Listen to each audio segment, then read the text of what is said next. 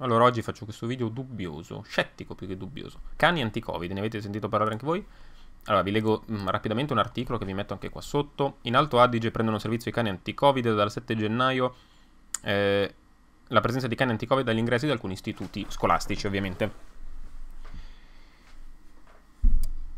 Come funziona un cane anti-Covid? Cioè, io allora so come funziona un cane molecolare, ok?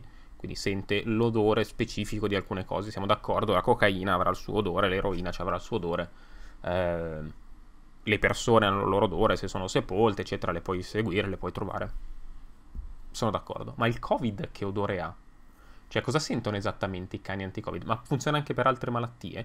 Perché so di storie un po' così eh, aneddotiche, scientifiche, del tipo il cane che odora la lesione della, della padrona o del padrone e poi è un melanoma ok, cioè in quel caso specifico un cane ha sentito un odore specifico in una condizione particolare, ma non credo si possa fare, cioè non, non, sono degli strumenti diagnostici, cioè che io prendo un cane, lo metto davanti a 100 persone e mi identifica perfettamente chi ha un tumore e chi no, ok?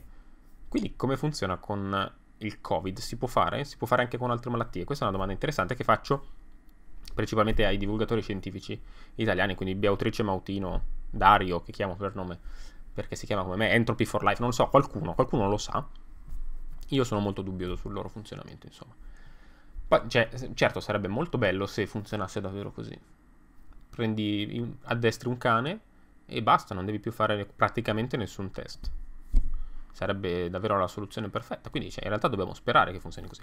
E questo era il primo punto del, di questo video un po' scettico. Io, appunto, vi dico, se qualcuno ne sa qualcosa, me lo dica. La seconda parte invece, vabbè, è un po' una polemica tipicamente italiana, e cioè